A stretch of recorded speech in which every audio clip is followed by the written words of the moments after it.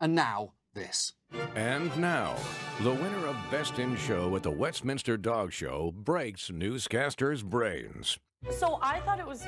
I mean, he's pretty, obviously. He's very beautiful. It's just like hair But on I the didn't- floor. It looks like a head of hair. Uh, like like Amber, I picture I picture yours or my hair just walking on the ground with no legs. Like I can like tell like you. it- like like, someone's, it someone's wig is like- controlling their brain yeah, and then like it jumps it off and walking across off. the ground. Like alien. Yeah. he's, he's gorgeous. Like, Wow. He's just so weird.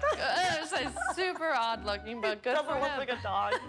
That person probably spent more time on that dog's hair and money. Or, or money, yeah, than the three of us combined, and we Probably. do TV every day. Uh, I'm not into that. It's just not cute. That What? is so ugly. That is such an ugly dog. No offense to anybody. Who... Well, you can't say that's an ugly dog and then say no offense. You've offended. I don't You've mean it to offended be the dog. offensive. Yeah, it looks like a Cousin Itt. The very unique look that Wasabi has. And what do you mean? What? What do you mean unique look? Furry.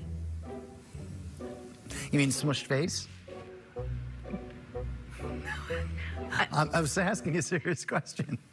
Yes.